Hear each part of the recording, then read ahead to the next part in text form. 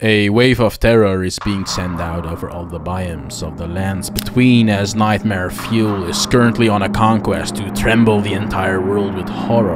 This evil entity's physique is all twisted, but especially those that are hideously disfigured need identification. This is Blades of Chaos. Blades of Chaos wields not one, but two deadly improvised saw-esque weapons in its hands to cut through its victims from a significant distance. And with exceptional skills and no moral sense whatsoever can someone stop the murder spree of pure evil itself. However, Blades of Chaos' name isn't just a product of its blades, it is its blades that function as a vector to finalize its true form to corrupt gods, granting it various forms of sinner magic to set any combat arena ablaze in total chaos as the bright flames of the fell god mingle with the corruption of the black flame. Apparently, Blades of Chaos sealed a deal with the godskins themselves. If it could kill 1000 men in a single day, it would be blessed with one of the strongest abilities of all time. And powerful magic on top of that too. But is it really possible to kill that many enemies within 24 hours? Well, our evil entity did so in 11 minutes and 6 seconds. While Blades of Chaos was moving through the areas known as Limgrave, Liurnia and Caelid, it used a variety of its iconic moves to dominate these areas with ease. Starting off with its Terror Blade move, a move so fast and lethal we have to slow down to see what actually happens. It goes as following. To create momentum, Blades of Chaos spins its body around its axis to accordingly release a barrage of quick moves that cut through whatever is being sawn. This dangerous move can cut down any material instantly, wood, metal, human flesh. When used on its victims, it saws right through their flesh and body while setting them ablaze, killing them in pure terror. Margit was the first unfortunate victim to experience this move in real time. However, courtesy of the Blades of Chaos, it granted Margit the first hit. But like true psychopaths do, you always play with your victims first before you do the deed. After that, Margit was cut through like butter, and the many microblades of the saw blade completely disintegrated the insides of Margit. Many, many cuts. Margit never stood a chance. The battle was finished as fast as it was started. Terrorblade isn't Blade of Chaos' only move though. Very efficient move, but Blade of Chaos wields two saws if you remember. The one in its right hand is the one it uses for the Terror Blade move, while its other saw, the one in its left hand, is used for the Helicopter of Death a move characterized by Blades of Chaos lifting its weapon above its head to spin the weapon in a circular pattern. As long as it wishes for, it can keep spinning in perpetuity, really. And what is more lethal than getting hit by a bunch of saw blades every second or so till your insides get wrecked to a pulp? The internal bleeding will obviously culminate in a horrific death. Godrick was the first to see this move in live action, and it resulted in quite possibly the most horrific death ever recorded in tarnished history.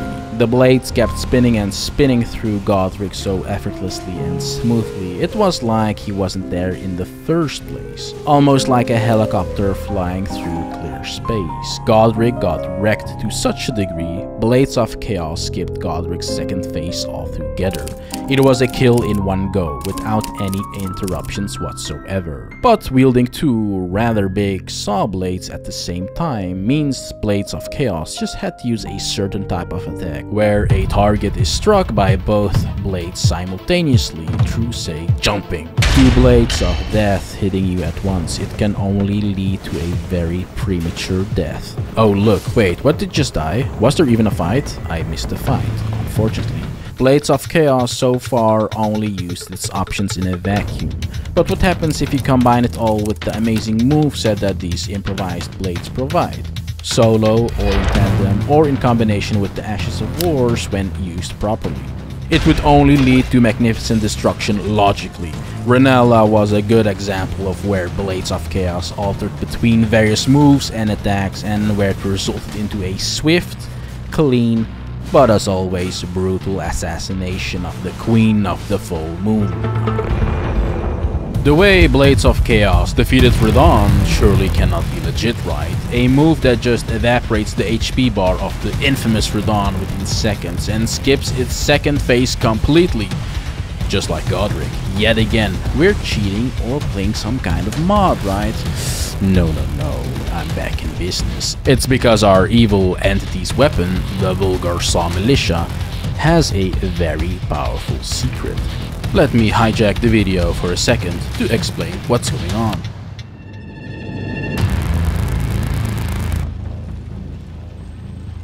See, the few tarnished that tend to use these weapons usually do so with an occult infusion, to increase the weapon's rate of blood loss buildup and scale its damage at the same time. It sounds efficient, but that is not where you seek power for this weapon in particular. My Blades of Chaos build mingles Faith and razor sharp bleeding saws together because the real power of these blades sits in Faith in my opinion.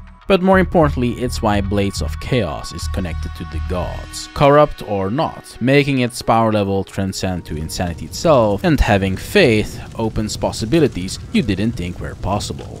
Why faith, you might ask then? Blades of Chaos' sauce gets an absolute nuclear attack rating, with a faith-focused infusion like the Flame Art infusion, completely dwarfing on any other infusion or option in the game, given the same stat distribution. But keep in mind, these blades on top of the insane attack rating, thanks to us going the route of Faith, now also gives us the possibility to use Faith-related buffs and insane incantations that optimize through the same setup while still having the innate blood loss buildup as well that will grant us those juicy blood loss procs still very quickly thanks to our choices of Ashes of Wars, but now with every regular attack dealing much more damage and us never having to worry about enemies being immune to bleeding. Then there's also the great reach of these weapons, the amazing moveset of the halberd, and these saws can be infinitely obtained right at the start of the game.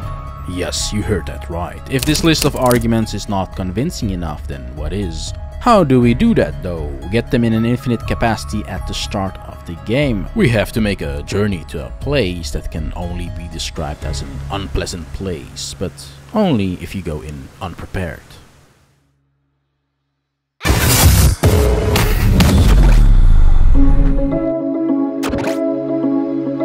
Let's start right here where you would start if you would start a new playthrough. You move immediately to the Third Church of Marika, like a deranged sociopath. After getting your horse preferably, because walking is for peasants, like Miyazaki would say, okay, he didn't say that. Take the hidden teleporter behind the church, that is very well known these days, so not so hidden anymore. You end up here, and we're already at the Infinite Farm. This entire area is filled with these guys resembling your local drug dealer the entire area, literally. And they drop our beloved weapons, at least the ones wielding the saw. The other ones wielding other types of weapons are not as cool to be murdered and can be easily ignored. So you kill the ones wielding our weapons over and over and over and over and over till you get as many vulgar saw militias as you want. Christmas has come early this year. Then after that, you want to do a few things. Kill Grail with a golden pickled Fowl Foot, use its runes like this or so to get to level 36, go to the Redmane Castle and obtain the red hot whetblade to make sure we can make our weapons have the flame art affinity, and thus scale with faith to make our damage bonkers and get that epic, beautiful but scary fire and hit because our damage will now be partially fire damage as well, which means we can buff that fire damage with say talismans as well. After that you can really take it to the next level by getting flame grant me strength here, golden vow here to get those nice buffs going that we have the faith requirement for and getting both smithing stone miner's bell bearing 1 and 2 Perhaps farm the guys at the Sealed Tunnel where you obtain Miner's Bell Bearing 2 as well to get to a quick plus 12 or plus 15 upgrades to both your saws. To get to the Altus Plateau region you'll need both Dectus Medallions which can be obtained in Limgrave and Caelid. Keep in mind to pick up the Red Hot Whetblade before you do so though as otherwise you will trigger Radahn's Festival too early. This sequence of upgrading might be familiar terrain for you if you watched any of my Get OP early videos where I made these routes some years ago too, but ultimately you you obviously can decide for yourself here what's the play in terms of how much power you want to give yourself. But either way, you have a fantastic start for your playthrough right away, even if you just keep it to picking up the weapons. But look, that's just the early to mid game, and the reality here is that we have a lot of options with this build. The Terrorblade move is also known as the repeating thrust Ash of War in the game, which the seasoned Elden Ring players might have noticed, and you get this one from the Night Rider cavalry on the bridge near the Agheel Lake north side of Grace right here. It has to be Night though. Defeat it and you get it. We go with our Terrorblade move for the more fast, agile type of bosses to clear them quickly. It is an excellent option for those use cases. While we go for our Helicopter of Death move for the tankier, bigger bosses that have a bigger hitbox and are easier to dodge while spinning due to their attack patterns like say a Radahn, a Godrick or a Fire Giant. The Helicopter of Death move is also known as Spinning Strikes in the Lands Between and can be obtained from Edgar at Castle Morne. Make sure to put him out of his misery so you can easily acquire this Ash of War at the start of the game right here too. The combination of these two Ashes of Wars is incredible for this build and will help you clear all the early to mid game bosses in style while complementing each other very well. But like I also said, don't sleep on the moveset and jump attacks of these blades, especially when you use them together. As when you power stance two of these brutal weapons, well, let's just say your opponent won't see the end of the day.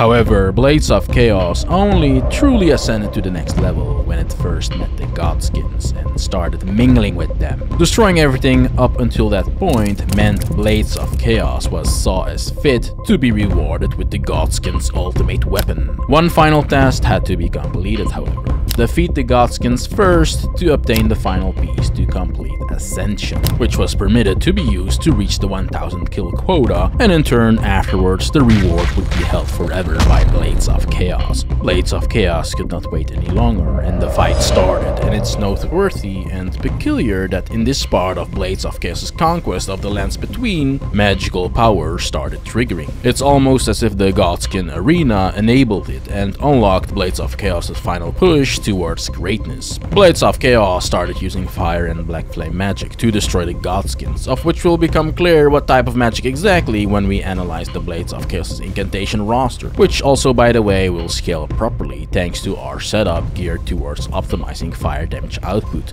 But a little spoiler alert is that one particular incantation that you definitely want to grab is Burn O Flame.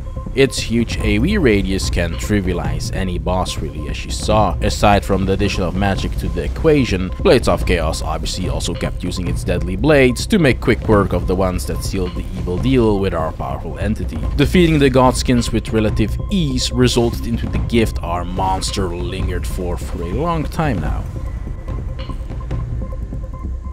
Here's what happened to Gideon, and a sneak peek of what's to come with this new mastered ability. You're observing the terror of the power of this ability in real time.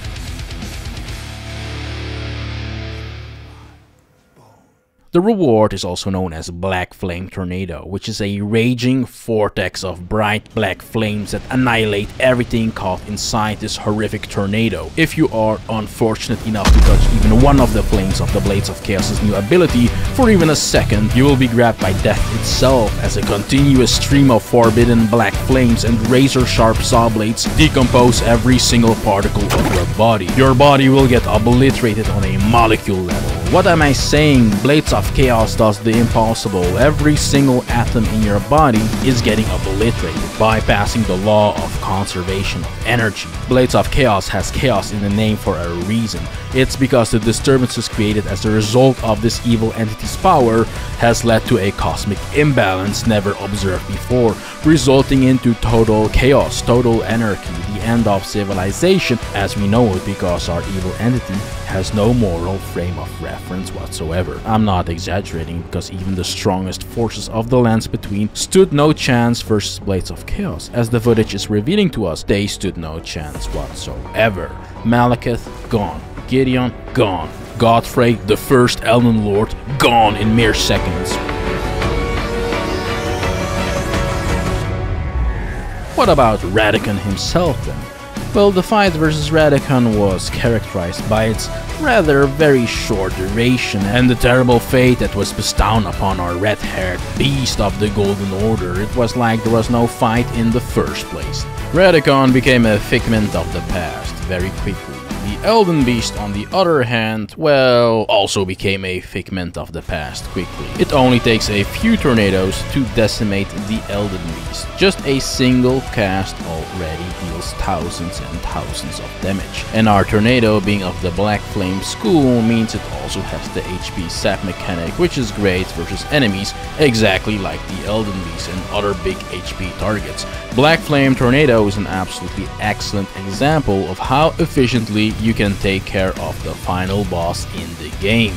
This is Blades of Chaos. Its power is no longer a surprise to you by now. You can brute force bosses with its new mastered ability, literally. The numbers will go through the roof and all you have to do is get near your target, focus and it's just a matter of spin to win. And Black Flame Tornado is a great follow-up for the late game and NG Plus to the pre-Godskin Blades of Chaos build, as it scales with our faith and synergizes with us optimizing for fire damage, which accordingly means it will ramp up to insane damage. Not to mention that putting such an overpowered of War in an optimized setup on this weapon in particular is everything you can wish for due to all the reasons that I mentioned before. But there is one final enemy, the one that has been described as the most powerful. Not for Blades of Chaos though. For Blades of Chaos this was just another walk in the park. But before we get there, we have to go through what happened prior to this fight. Namely, Blades of Chaos murdered the entire world first before taking her on. What you saw so far wasn't Blades of Chaos' final form yet. No, this build can get to an even higher level by comboing Black Flame Tornado with certain incantations, as there are a variety of mechanics that synergize with it, of which utilizing those is necessary to reach the ultimate form. These 9 incantations form the roster of Blades of Chaos selection of spells that I would highly recommend you to use in conjunction to everything that was featured so far. We have the earlier mentioned Golden Vow and Flame Grant Me Strength as staples that function as the build's damage and defensive buffs. Incantation number 3 is then Black Flame's Protection, which you can use as an alternative for Flame Grant Me Strength as it has a significant defensive buff which can be useful if you struggle and when trading hits with Black Flame Tornado. Then incantation number 4 on the list is going to be Flame of the Fell God. This incantation is absolutely amazing for the Blades of Chaos setup and is obtained relatively early on. I would say that it's mandatory to have this incantation at all times. What makes this incantation great in particular is that it has an AoE explosion and deals great damage, but you can set it up preemptively too. So from a strategic perspective, you get a lot of options like that. But even more useful is the lava-esque type of pool that it leaves behind, which staggers enemies. And you can then use that momentum that you get from that to combo those staggers with the Black Flame Tornadoes or your power stance attacks that you know won't get negated because you won't get interrupted as your enemy is getting staggered. Aside from Flame of the Fell God, we have the earlier mentioned Burn O Flame, another mandatory inclusion. You saw how it functions versus the Godskins and we'll also see it in action versus Malenia. It is very powerful. For incantation number 6 and 7, we have Flame Fall Upon Them and Giant's Flame Take Thee. Flame Fall Upon Them is great when you need ranged, targeted AoE damage, which is a niche use case but definitely useful here and there. And Giant's Flame Take Thee, on the other hand, is just your big burst fireball that you can launch from a distance. It's a great bursty spell for exactly that reason, when you need ranged damage. Finally, we have two damaging Black Flame incantations to top off the list. The first one being Black Flame, which is basically just your early to mid game Giant's Flame Take Thee. It's a great ranged spell for those parts of the game that supplements your melee build early on really well. And then Black Flame Ritual for the final incantation. This is a great incantation to keep enemies at bay and away from you, and with that gives you time to say launch a nuclear Black Flame Tornado in all tranquility. Blades of Chaos could really ramp up its kill count quickly with its selection of incantations, killing targets left and right and entire groups in one go. After cleansing the lands between completely, it was then time for Malenia.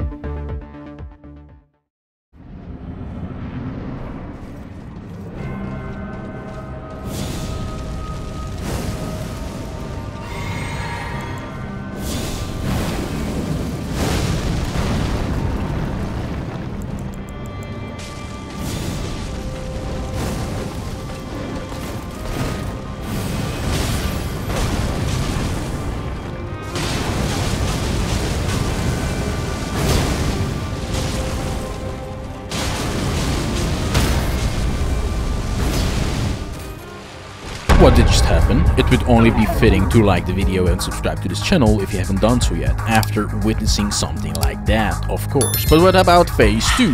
Well, phase 2 is where Blades of Chaos mingled other fire incantations with Black Flame Tornado as well, resulting in lethal damage output right from the start of this phase. In phase 1, Blades of Chaos really showed how amazing Flame of the Fell God is in combination with Black Flame Tornado, pretty much melting Malenia's HP bar in just one sequential stream of damage as you saw. In phase 2, Blades of Chaos started using other fire incantations like Giant's Flame Take Thee, but also Burn O Flame flame, which performs exceptionally well versus bosses that tend to be mobile, as they will move their body over multiple streams of fire, which will only result in more and more damage. And Black Flame Tornado is as always extremely good in this fight and this phase too.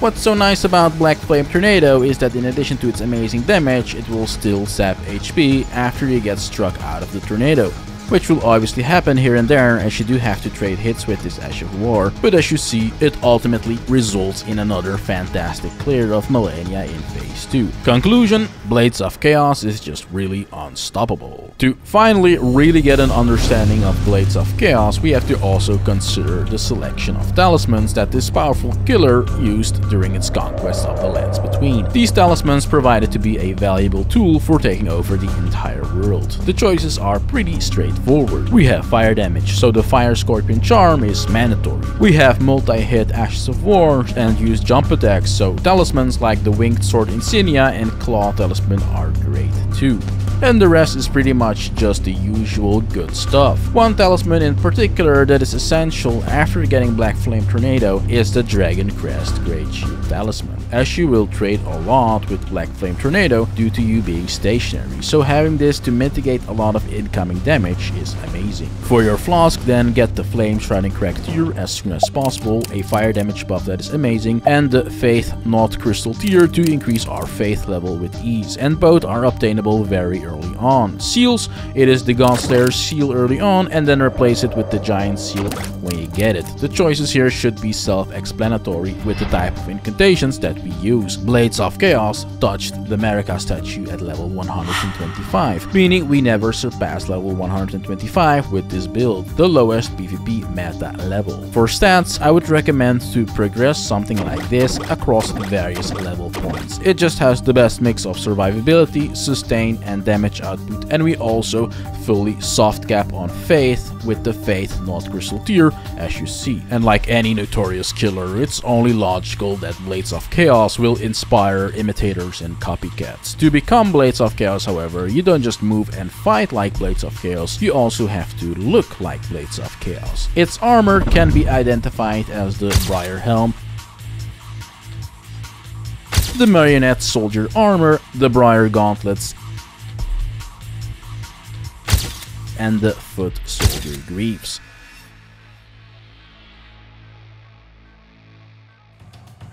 If you want a written guide of this video to follow along in a written manner, then check out my Patreon, or if you just want to support my channel, it's appreciated either way. But with all of that, it has become clear that the lands between proved to be no challenge whatsoever for Blades of Chaos. However, Blades of Chaos is still hungry, and maybe, just maybe, a different area will break a sweat for our monster.